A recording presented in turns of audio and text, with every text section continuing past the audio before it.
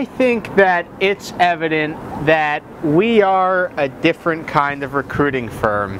When I started this agency, I knew that I didn't want to make it sort of a half you know what.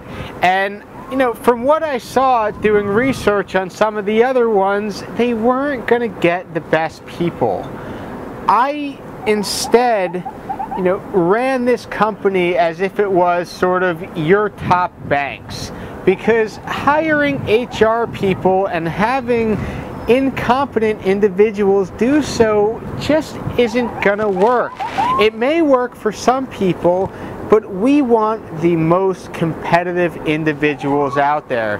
Now, after asking roughly 1,500 job seekers about 33, maybe 34% if you round up, we're going to actually answer the calls.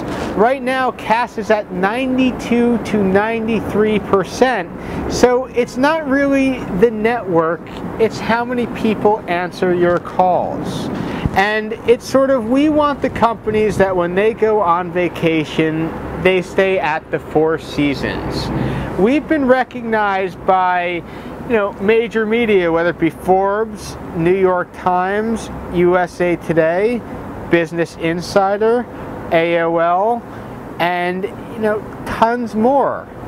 And we do so to sort of solidify our expertise in the industry because a competitor of our companies or of our clients is a competitor of ours.